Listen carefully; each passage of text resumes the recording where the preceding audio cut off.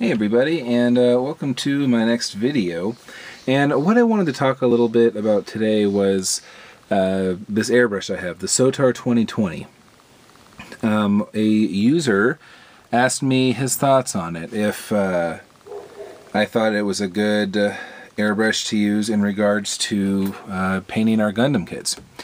And uh, I'll give you a little brief history here.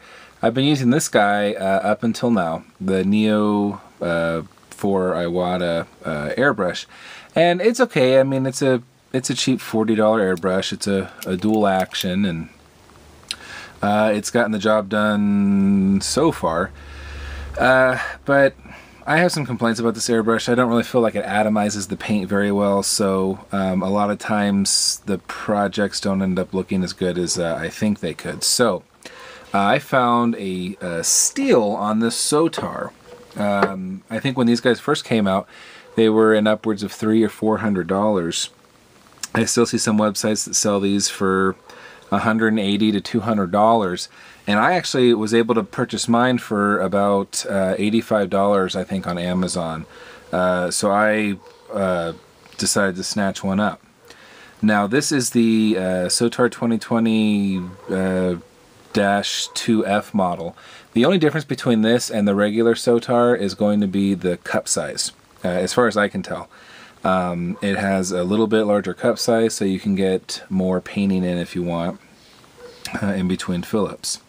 So uh, this is the box that mine came in and you get an extra needle as well as a additional uh, tip for the end and then they give you a, a uh, small wrench to um, disassemble your tool if you need to. So, just kind of briefly going over what you get. Um, it's, uh, you know, your basic airbrush. Uh, one feature that I really like that this has over the um, Neo that I've been using is I can adjust how far back um, that this can go so I can actually adjust the flow of paint. So um, you know you still obviously need to be careful uh, when releasing the air but you don't have to worry so much about maybe sending out too much ink if you want to use it. I mean you can certainly adjust that out so you don't end up doing anything but uh, it serves a purpose. It's really good. So um, the question was how does this uh, work with uh, painting Gundam kits? Well uh, in my opinion, it works very well. It, it's certainly not perfect. It does have some drawbacks, and we'll get to that. But um, uh, I think one of the biggest issues really um, is going to be cup size. You know, this is the cheapie that I've been using, and as you can see, the cup size is enormous uh, compared to the cup size of this guy. So if you uh, absolutely detest, you know, constantly filling your cup up, you can kind of see why this may not be the best choice for you. If that doesn't bother you or uh, bother you so much, uh, we can certainly proceed with um, thinking about purchasing it. So uh, let me show you a little bit about what this guy can do. Alright, so I've got my uh, airbrush loaded up here with just a little bit of um, primer. And let's take a look and see what we can do. So I've got just one of my uh, paint mixing cups here and I'm trying to get this thing adjusted to what should be about the finest spray that it can do. So let's take a look here and see what we can get.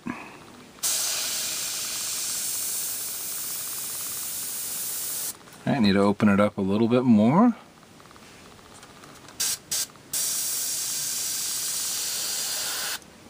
Alright, so uh, there we can kind of see a little gray line. And one thing that this excels at, in my opinion, is in a lot of ways, this uh, kind of works almost like a pencil.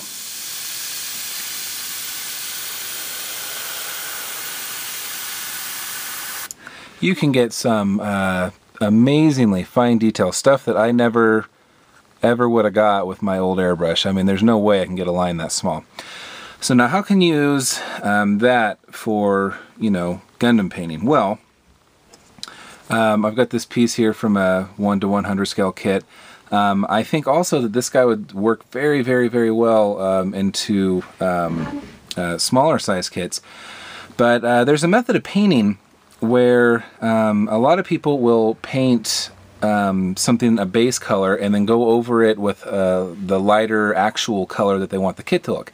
And you get a very nice effect that way, and, and that's mainly how I do a lot of my stuff. Uh, there's another method that you'll see a lot when people are painting uh, aircraft, let's say, and they've got these panel lines. And what they'll do is they'll put the coat of primer on, and then they'll go over with their uh, black uh, paint and then fill in the panel lines.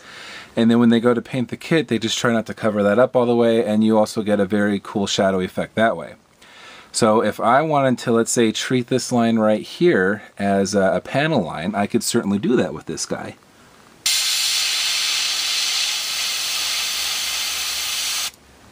All right. So we get a very fine effect. Now, let's see if we open this guy up again, what other kind of patterns we can get. Now this is probably opened up three quarters of the way now. So we should see a pretty uh, good size difference.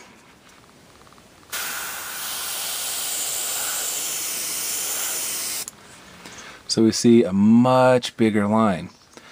Now, applying that with our Gundam part here, if I wanted to primer this piece,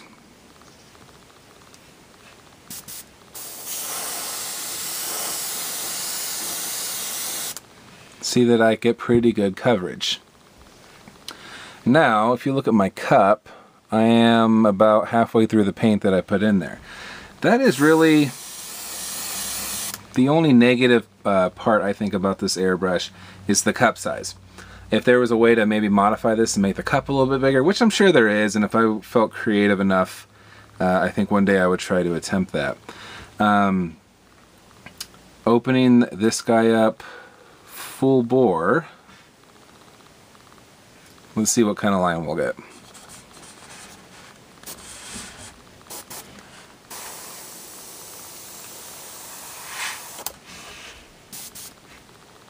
Let's see.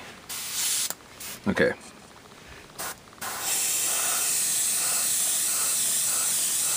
Alright, so again, very good coverage. It basically, it all comes down to uh, paint usage. Um, it doesn't bother me to have to fill my cup up. I mean, obviously, I would prefer not to, um, but I think with the amount of parts that your average Gundam kit has, you are going to be filling this up.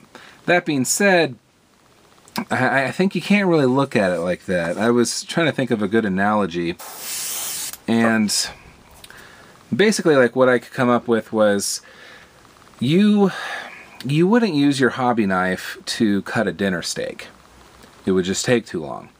But on the same hand, you wouldn't take your steak knife and use it to trim off the parts on a model kit, would you? This is a very uh, fine detail, fine precision tool. This is uh, a tool that um, some of the really, really great airbrush, uh, airbrush effects artists use. So to judge it just because it has a small cup, I think isn't very fair. Um, I am primarily going to be using this, I think, uh, until I get, um, uh, I think maybe a, I might buy a Patriot. What I, what I feel like with this guy, I, I guess would be the best way to describe it, is I think I would like this guy very much if I just used him for painting um, everything after the base coat. So, uh, for instance, um, Having a large cup to be able to spray all my parts with primer uh, would be very appealing. Uh, if you've got many, many pieces that are all going to be the same base coat, it'd be nice to have an airbrush with a longer cup uh, that could hold more to be able to hit all those. But then after that, uh, the way uh, that this atomizes the paint, the way that this really um, makes it flow and the options it gives you, I think is perfect for pretty much everything else.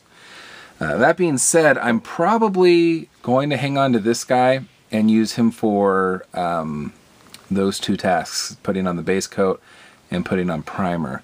Everything else I think I'm going to use this Sotar with and uh, I'm going to be very happy with it. So if anyone is thinking about using this guy, um, I totally recommend it. Uh, especially, I mean at the price I got, I can't beat it. You know, it's um, it's going to get a lot of use, um, and uh, I'm I'm happy for the purchase. So. Um, I hope uh, to those of you that were wondering if this would be a good tool or not to use for your Gundam kits, uh, I hope that that kind of gives you some insight on what to expect, to see if you like it. Maybe uh, maybe the idea of having to change out your um, or uh, add paint to it a little bit more often isn't appealing. Um, me, not so much. I'm okay with that. Uh, I've got some other kits coming up that aren't going to be uh, Gundam. They're actually going to be some uh, a Star Trek kit, actually in particular, um, which should be a lot of fun to work on. And uh, I definitely want to make sure that the paint job comes out really good. And this guy's going to get a lot of use on there. Anyways, um, that'll do it for this video. I hope you guys appreciated it, and uh, I'll see you next time.